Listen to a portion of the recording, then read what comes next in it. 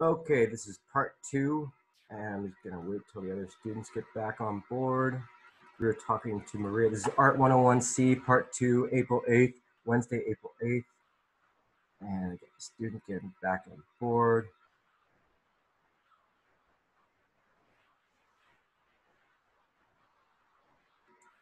Back.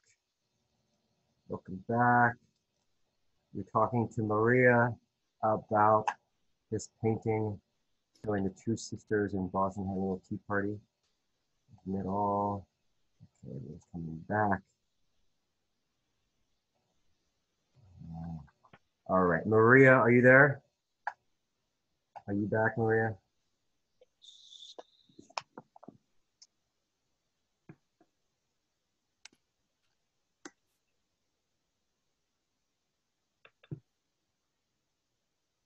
You're on mute.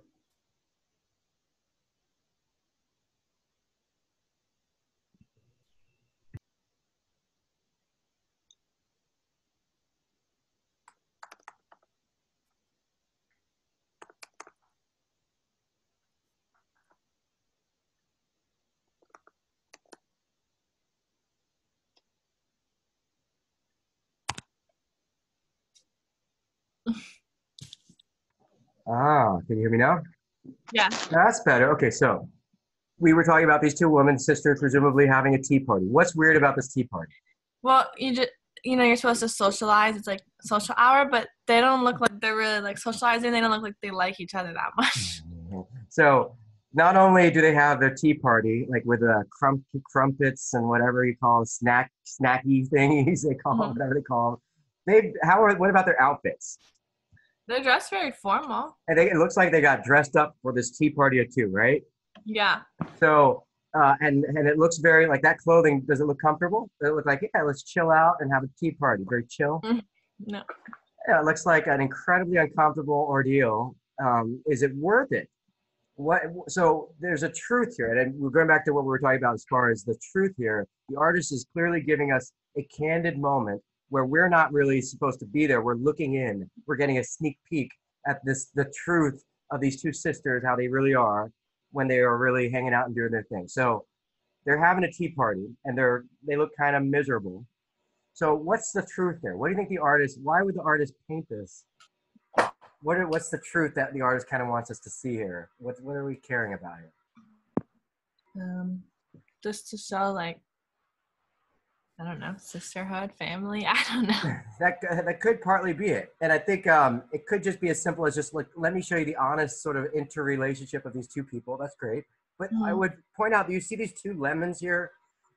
Yes. So they have a sort of. If I said, well, those are very prominent lemons, what would be prominent about them? Well, I don't know. Just odd that they're sitting there. one it's odd they're they don't really do they're just there right? Yeah, like and they're like to the side too. yeah and but they're also kind of the first they're in the front of the painting like very they're definitely kind of right out at us but they're not necessarily like clearly the focal point right? That they are kind of outward and they're just kind of there right? Hmm they're not and it, what is and what is a lemon it's sort of a, something you add to tea right?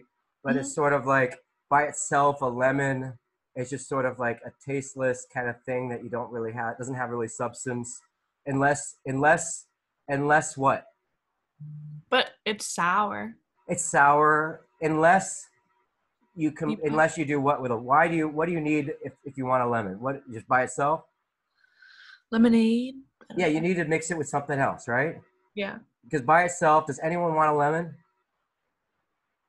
not really. I mean they're great. God bless lemons. Any of you know any lemons? Like i don't mean to offend any lemons but lemons like for me are like i add it to something else.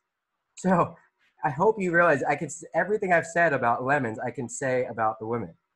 Like they it's like a lemon like all dressed up tea party but who cares unless there's other people here at the party right? They're kind of alone oddly alone like just sort of butting heads like these two lemons.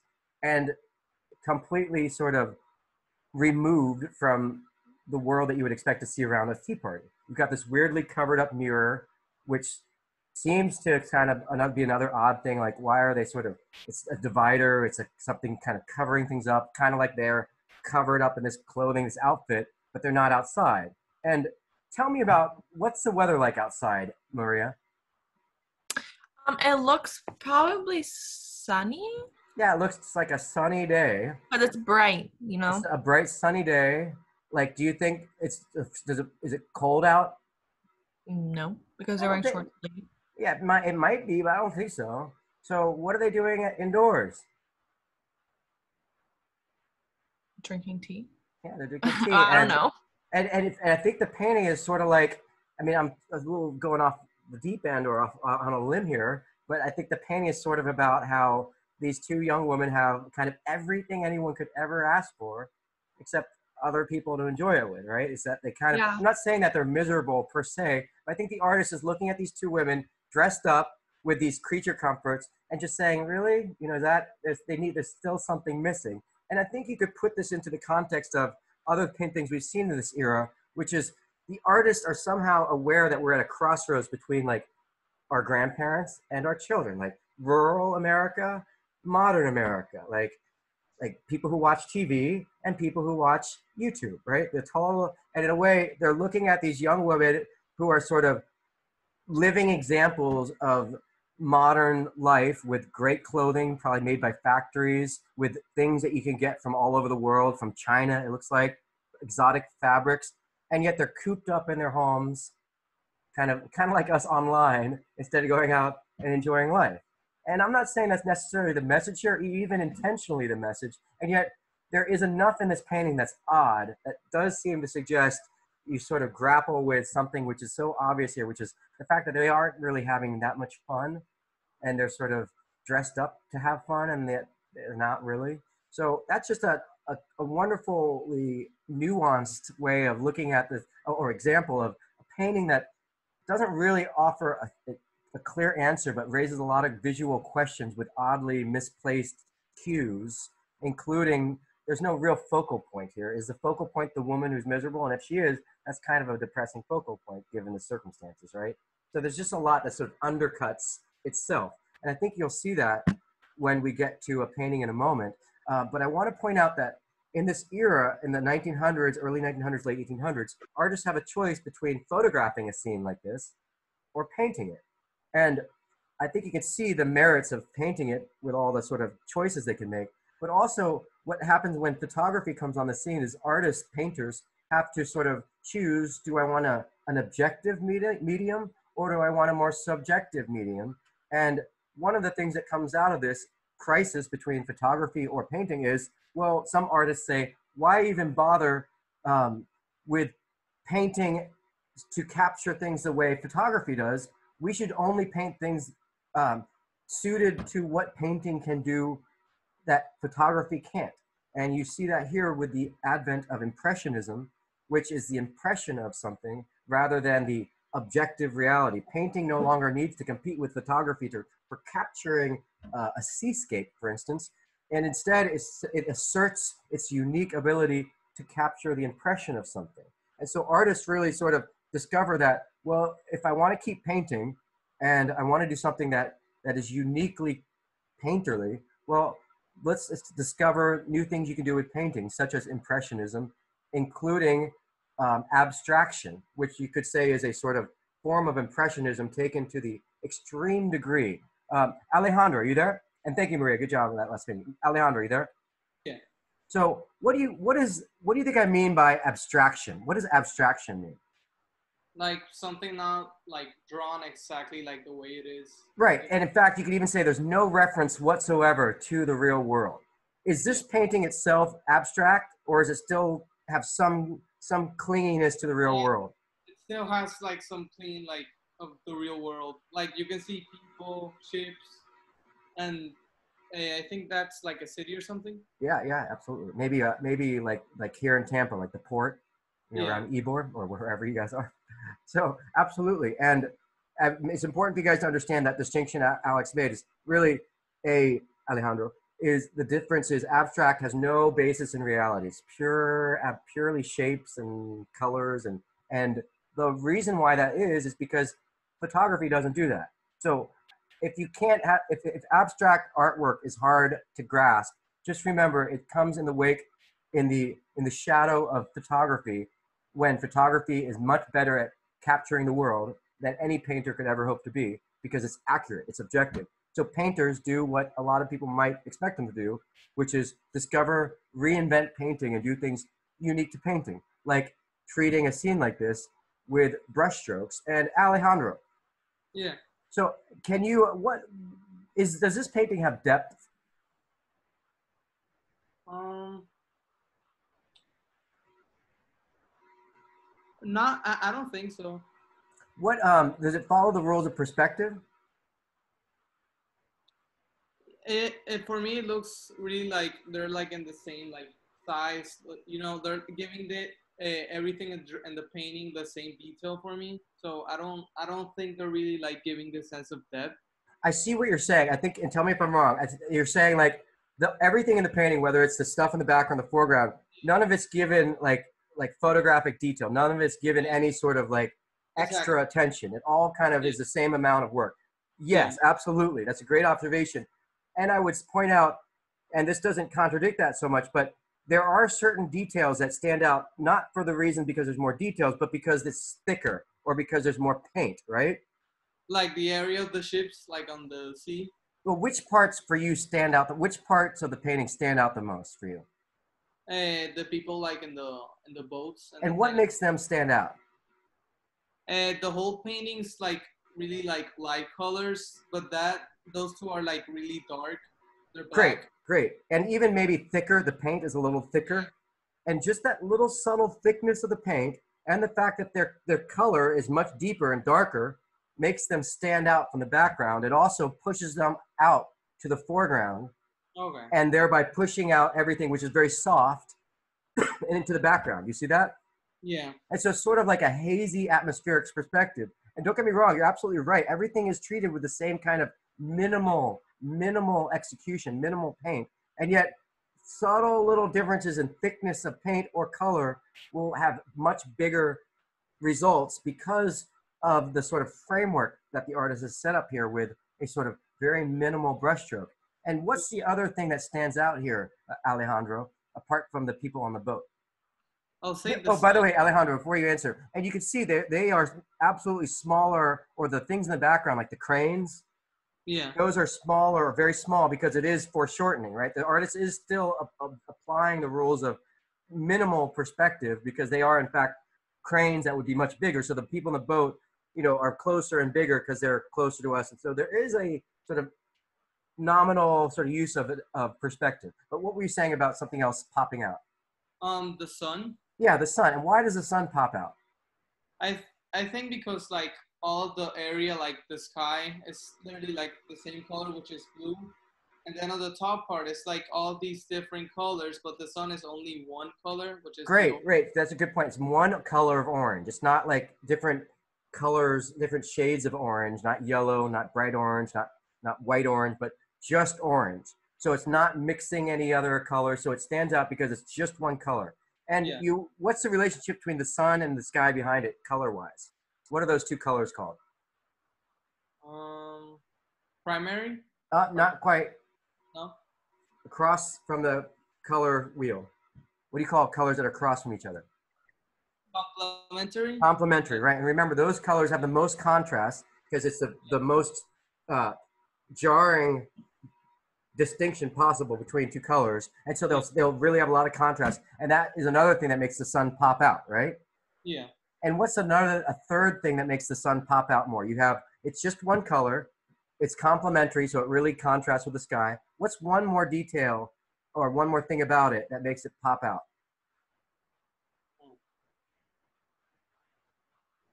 What about what I was saying earlier about the thickness of the paint? Yeah, like it's more deeper. You said. Well, you can even see like the way the artist, you can almost see the brush, like it's just one Yeah. brush stroke, like in a spiral. And you can see the brush stroke even. It's like you just did it once. It's very thick, right? What else is very thick with paint on the canvas, Alejandro? Uh, the people on the boats, like we said. And behi- besides them, Um, I'll probably say like the the ocean. What specifically? The the area around the boats. I would say the light on the water it seems to be pretty thick. You might have a smaller version, but when you Yeah. see a bigger version of the picture, you'll see that the the sunlight reflecting in the water is Yeah. pretty thickly painted as well, and that kind of pushes it to the foreground, is what makes it pop out, right? Yeah. So going back to that question of depth, I think now you see, even though it at first you might think it's a very flat painting, and, and impressionism absolutely doesn't. That we typically see, there there's still a, a sense of depth going on. Yeah, and it's, it's and remember this is impressionism, so the artist wants to give you sort of a, a push pull, like the water almost disappears, right? The figures are floating over like emptiness. It feels like, and yet the sun's dancing and jumping out at you. And even though this isn't naturalism, right? It's not capturing the world accurately. Anyone who's been to the ocean can tell you when you look at the ocean, you don't really experience it as, oh, depth. Oh perspective. Oh anatomy. No you feel the sort of da- dancing ripples jump out at you and they hypnotize you and everything else blurs and you don't see anything. And that's how it feels to look at the waters to sort of experience it on its own merits which is lots of details on the surface lots of weird things to catch your focus. And so the artists are really offering a different sort of naturalism which is like the truth of our subjective impressionistic experience through our day-to-day life. You follow that, Alejandro? Yeah. Yeah, and I think Thank you could go ahead. Good, good. That was great. So I think you can see that impressionism here with these people. Um, Alejandro, what do you think I mean by that here? What is it? What is impressionistic about this? Is this naturalistic? Is this ac- absolutely photographic accurate? No, I'll, I'll say it's not. It's a more naturalistic since they're they're seeing like the way the their perception is of these people, like how how they would portray, how they would act in a party. They think. Yeah, so So- there's this is of course a lot closer to naturalism than this, but here you can see the artist is trying to capture the energy of, of Yeah. the socializing, right? That brushstroke was sort of most artists before this era would have hidden that brushstroke. You wouldn't have seen that because that would have been like, ooh, why are you why would you leave that? But now in the era of photography, painters say, oh wait, I want to leave that because that's kind of how you see the world. It's like a bright colored day and bright there's like a haziness in the air. And this is for me absolutely a true a, a different kind of truth about how it feels to be socializing right Yeah.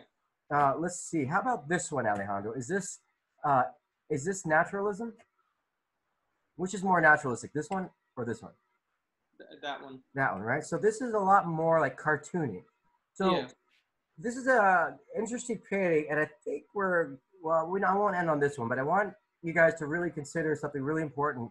And we've kind of seen a little bit of it especially when we think about maybe this painting which is what the people are wearing. And great job. I'm going to pick on someone else now alejandro. Haley how about you? Are you there haley? Can you hear me? Yeah.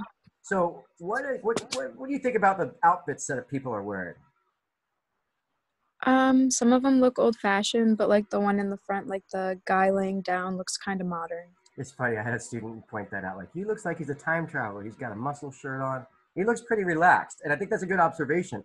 What about that? That clothing is uh feels more modern. Haley, Um, I think just like the colors of it, it's more bright and just the way it fits him. what do you mean by that? The way it fits him?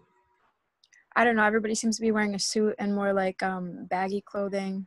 What would you expect to see people today wearing at the park? Would they be wearing what everyone else is wearing here, or the guy on the left? No, probably like jeans and a t-shirt.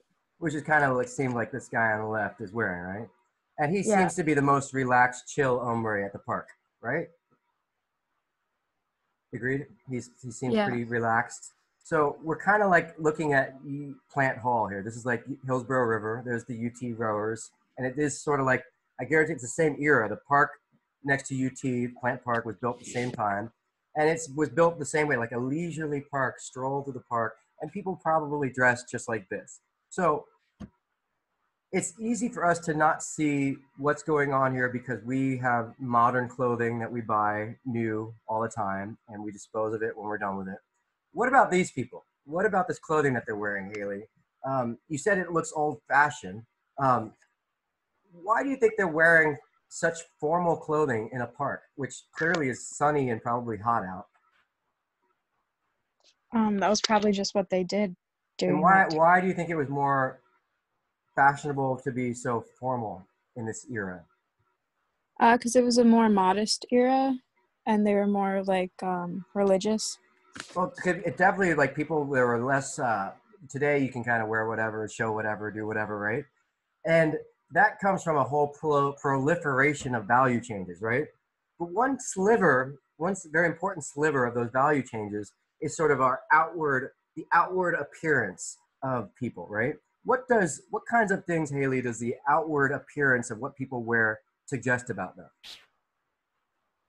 Um, like who they are. Like you make judgments based off of like what people wear and stuff like that. hmm But and, and and even just if you make you make uh, uh, proclamations as well by wearing something, right?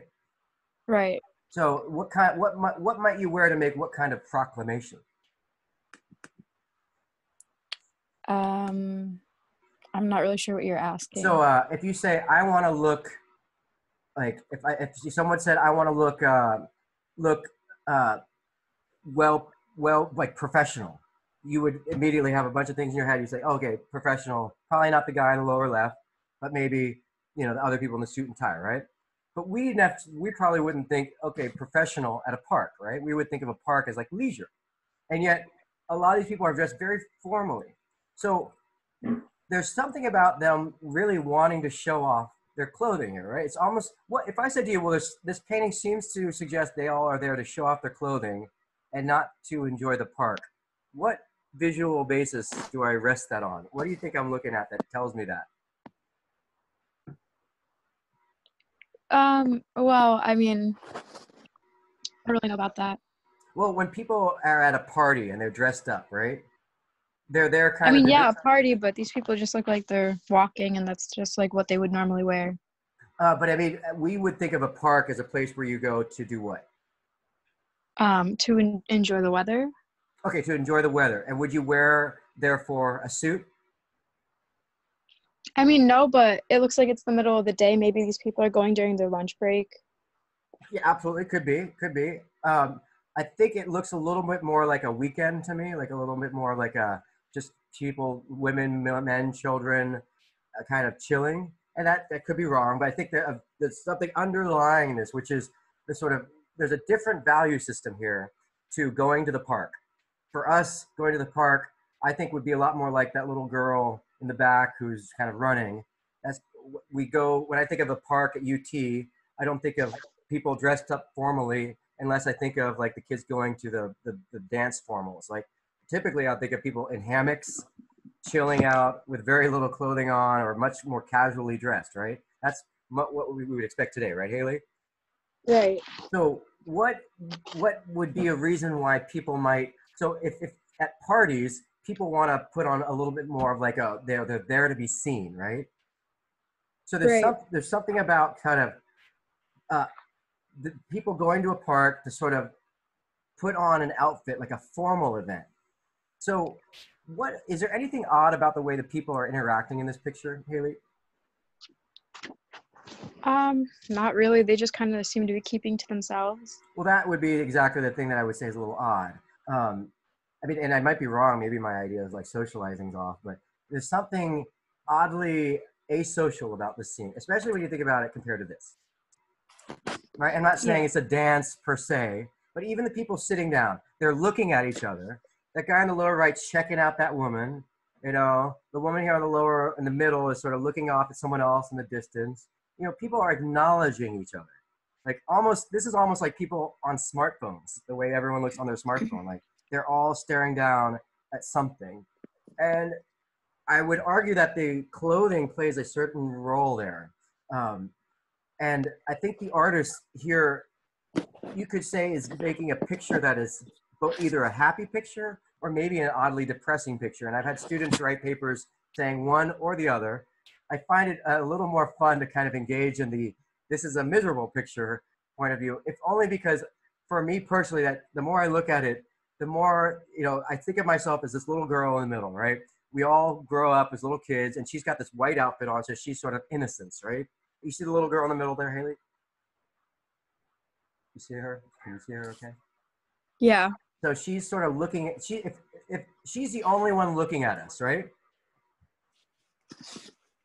Even the mom is kind of looking away, but the little girl seems to be looking right at us, right? Mm-hmm. And so she's sort of like the only one acknowledging people, which is us. And it's almost like like when I remember being a little kid and I'm in some horrible situation, like my mom made me wear some outfit and then I'm looking out at some other kid like sharing a moment of misery, like, hey, we're in the same boat. She's almost like reaching out to us, like looking at us like, is this world, look at this world I'm going into. Right? Any kid says that. Like, look at this world I'm getting into. And what is that world like? The world is kind of people getting dressed up to be very uncomfortable.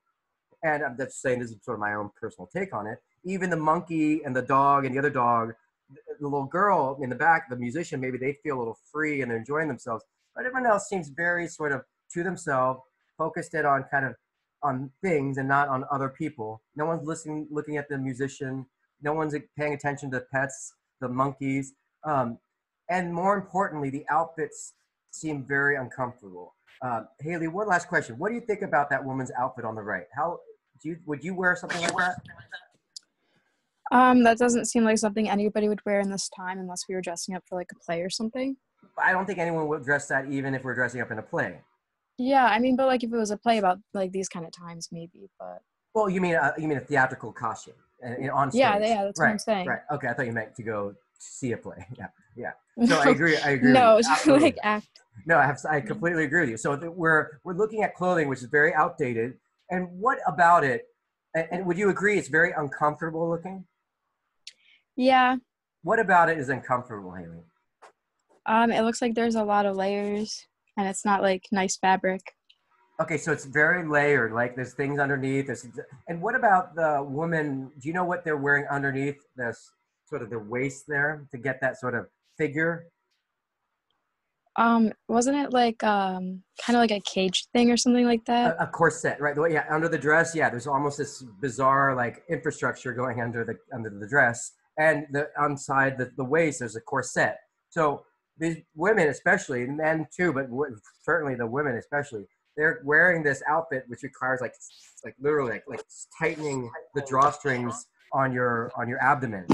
So it's really Mhm. uncomfortable clothing, um, especially if you're thinking about going out into the park and wearing it. And I think the girl, little girl's outfit is seems like a, a comfortable dress, but I certainly wouldn't want to grow up and have to wear any of these outfits uh, the women are wearing.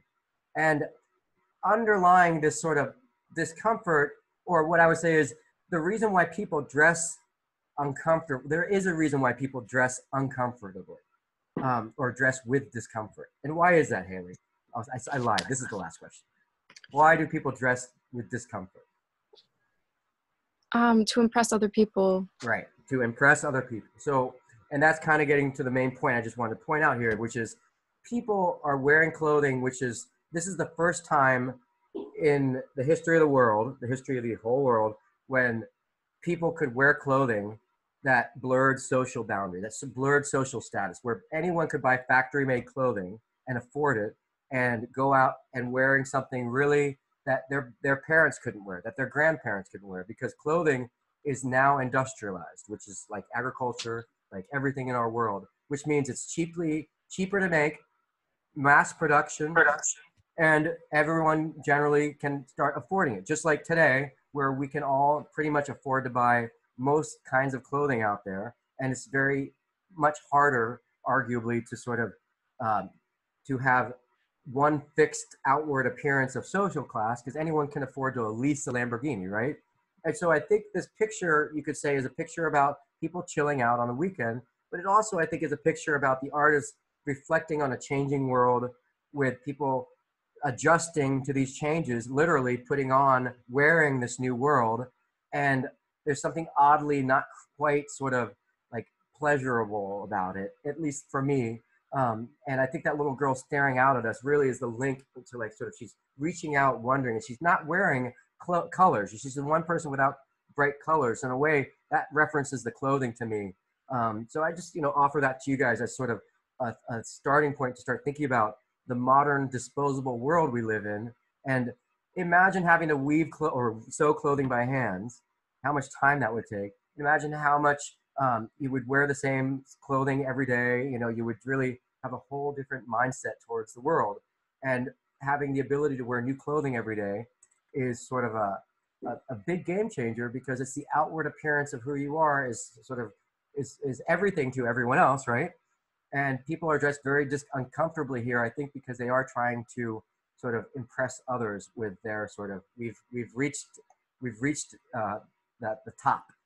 So uh, yeah, I think that's a good spot to end. We're going to pick up on the post-impressionists on Friday, the likes of Van Gogh and others, who go even further with uh, impressionism, and we're going to see how a lot of this took inspiration from artwork from Japan and the sort of blending of artwork from all over the world as part of the sort of globalization effort and the sort of cross pollination that continues today on the global stage in the art world with Vincent van Gogh taking the colors and the subject matter. You can see how his artwork evolves from this to this. You can see the influence of Japanese artwork, both the bright colors and the sort of um, wood carving mark. And so we'll pick up with Vincent van Gogh on Friday. Does anyone have any questions about anything? I will be in touch with each of you individually about your paper. I've gotten in touch with one fourth of the total students so far. I'm impressed by that. And I will keep working on that mountain this week. Um, any questions, anyone? Uh, I know, I don't think I, I, have you guys, maybe I have you on mute, so maybe no one can say Let me see. Uh, Are yeah, you I- able to talk about uh, my outline right now after class? Sure, sure. We, is- everyone can hang up. I'm going to stay on the line with Robert. Bye, everybody. Have a great day. I'll see you on Friday. Good work. Keep up the great work, everybody. Goodbye. All right, Robert, you there? And I got Joshua there too. So, Robert, what's going on, buddy? Um, Wait, stop. emailed me and said, um, asked if we could talk about it. Yeah, let's go ahead and talk about uh, uh, your um, your outline. You emailed it to me, right? Yes. Hold on just a moment. And what's the uh, painting you were writing about again? I'm doing uh, The Last Supper and The Last Judgment. Okay. And you sent an outline? Yes.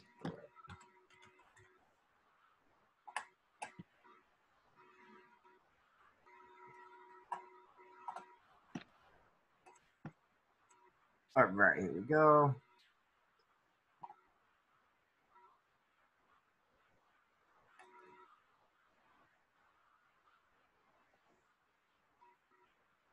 Just opening it on. Last Supper, Jesus tried by apostles. Good focal point, Jesus. Jesus.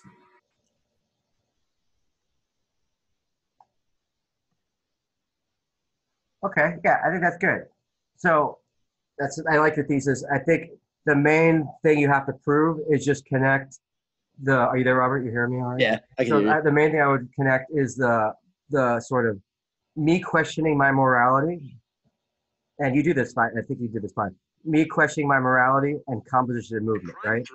Uh, So make sure you Oh, const- I make sure you go back. was still in here. It's all good. It's all good. It's funny. It's exactly. is that Josh Joshua? You saying goodbye? Is that you? You're uh, muted currently. Oh, yeah, yeah. Hey, Joshua, you all right? Hold on, Robert. Oh, there he goes. He's gone. There, you there? Right. You there? You there, Robert? yep. We lost Joshua. All right, so uh, here we go. So yeah, I think the I like the specificity of questioning our morality because yes, exactly. The whole point of Last Supper is to sort of that that Jesus is implicating you as well. It's, it's forcing you to question: Am I am I going to betray Jesus? Right.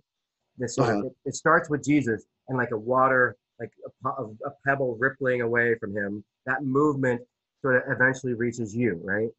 And Yeah. same with composition. That sets up that sort of world in which that movement can take place outwardly, right, from Jesus to you. So absolutely, I think if you just constantly make sure anything in the paper refers composition and movement just back to that sort of connecting spiritually to the viewer as sort of a moral reckoning. The same with Last Judgment, where you really sort of use, I would say in that case, maybe the movement, um, and you could say maybe a sense of composition up and down is morality. So absolutely. Yes, I, I I talked about um, they have heaven on the top and hell on the bottom.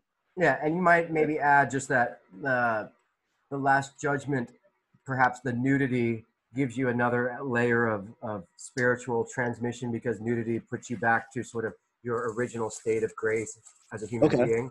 And I think that would be one thing you might add is just like additionally, you know, a one layer that Michelangelo adds to this moral spiritual reckoning that you don't see in Da Vinci is the element of nudity, which almost sort of amplifies the the movement and kind of gives you the final spiritual sort of connection to your common humanity. You know, we're all Yeah. nude, and you can't hide anything when you're, you know, your moralities can't hide when you're nude. You know. Okay. Yeah, but I think uh, I, I- can read it in more detail, but since I see a good thesis, I'm sure it's going to be a lot better without it. And just make sure your summary or your conclusion is a summary of everything. Uh huh. Yeah, I definitely have to work on the conclusion more when I have the whole. Uh, Yeah, I wouldn't exactly. Don't don't even worry about the conclusion until you're happy with everything else. And Yeah. then you just summarize. You say, in this paper, we compared the Last Supper to the Last Judgment. We saw how accomplishing the movement set up a spiritual, moral conduit reckoning, and we saw that yada yada yada yada. yada. And then you can maybe make some final afterthoughts, but they'll be clearer to you once you've kind of got everything else lined up. All right. Yeah, you're doing great. So we've talked, and if you need anything, I would say turn it a rough draft.